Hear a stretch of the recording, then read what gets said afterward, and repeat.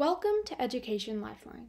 Today we'll be solving system of equations by elimination, or more specifically by combination. Now before you watch this video, make sure to check out our previous videos on system of equations. They will be linked in the description below as well as on the top right hand corner of your screen. So here we are asked to solve the following system of equations by elimination. Now, elimination allows you to add or subtract the equations in a way that will make one variable drop out.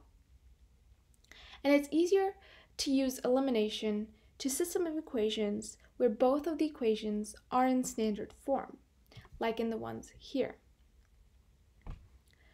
So, if the coefficients of one variable are opposites, here we have negative 3y and 3y, which are opposites, then we can add the two equations to eliminate that variable.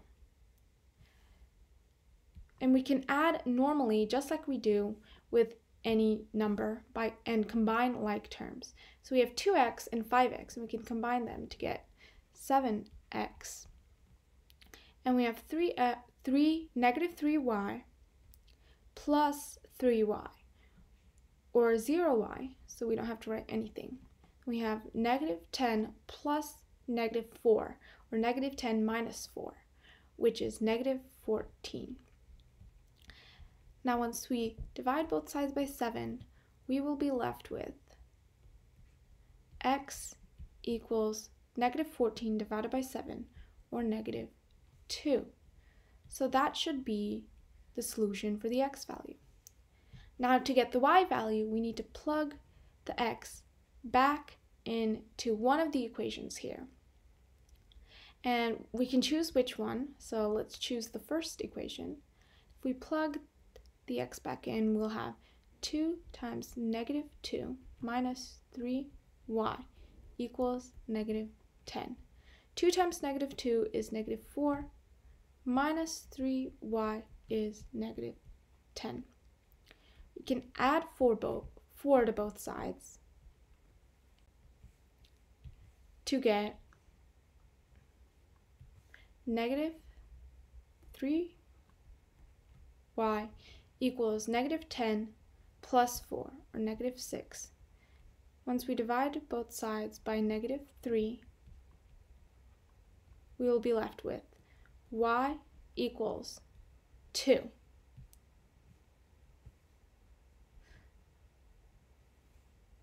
So the solution of our system of equations should be negative 2, 2.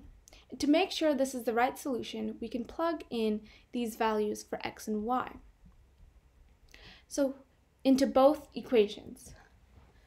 So we have 2 times negative 2 minus 3 times 2, and that should equal negative 10.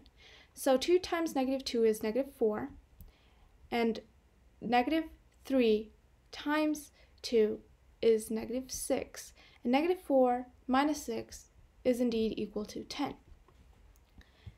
So in the second equation we have 5 times negative 2 plus 3 times 2 equals negative 4. So 5 times negative 2 is negative 10 plus 3 times 2, or plus 6, 10, negative 10 plus 6 is negative 4. So we know we got the right solution. Now, for this system of equations, the coefficients of one variable are identical. So we can subtract the equations to eliminate that variable, or we can multiply one of the equations by negative 1 and then add. So let's multiply this bottom of equation by negative 1. That leaves us with negative 3x minus 2x equals negative 7. And we can rewrite the first equation up here so that we can add the two equations together.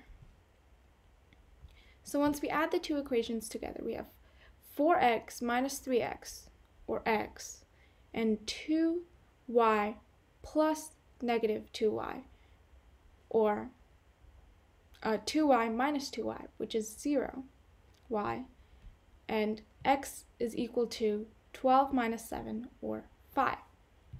And that should be the solution for the x value. Now we need to plug in the x for one of the equations here. So let's use the top equation, this case. So we have 4 times 5 plus 2y equals 12. 20 plus 2y equals 12. You can subtract 20 from both sides to isolate the y. You'll get 2y equals 20 minus, or 12 minus 20, which is negative 8. Once you divide both sides by 2, we're left with y equals negative 4. So the solution to the second system of equations should be 5, negative 4. If this video was helpful, please drop a like and subscribe to Education Lifeline. Be sure to watch our previous videos and check the description below for other helpful resources. Thanks for watching.